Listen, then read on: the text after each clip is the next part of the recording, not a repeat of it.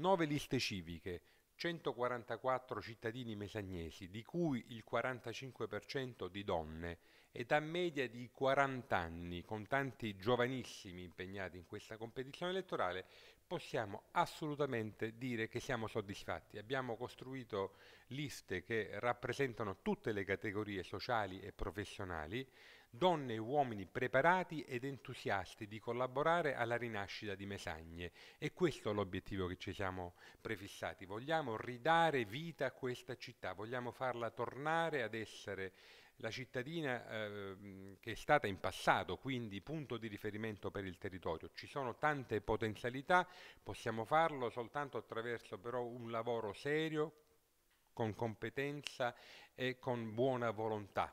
Occorre che si lavori sodo e soltanto in questo modo potremo riuscire nell'intento. La nostra campagna elettorale proseguirà con eh, alcuni appuntamenti eh, a breve. Il primo maggio, ad esempio, saremo presso la villa comunale per onorare la festa del lavoro e ci sarà tra noi l'assessore regionale Mino Borracino.